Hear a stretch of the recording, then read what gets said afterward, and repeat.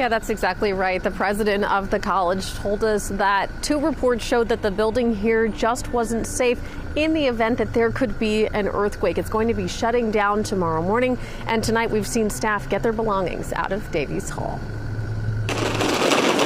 With only hours left until Davies Hall on the campus of American River College permanently closed, Thursday night became an unexpected moving day. The health and safety of our of our employees, of our faculty, our staff, and our students is so important to us. And we, given the information that we had, we had to make this difficult decision. The Division of State Architects notified the college that Davies Hall could be at risk of catastrophic damage in an earthquake due to its construction we had to make the very difficult decision to shut down the, the, building as quickly as we could. New ARC president Lisa Cardoza says after receiving word from the DSA, the college brought in structural engineers to take a second look. They determined the lift slab construction, popular in the 60s and 70s, did put the building at risk.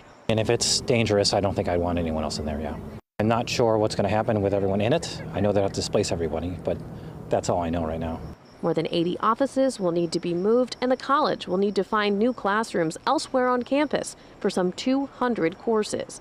Cardoza says about 6,000 students will be impacted and will temporarily go to virtual learning. The campus community really has stepped it up, and you know we're converting some of our conference spaces into meeting rooms. We, are converting um, some of our um, community rooms into classrooms. It's things like that, and and so I've been really proud to see the the entire campus come together.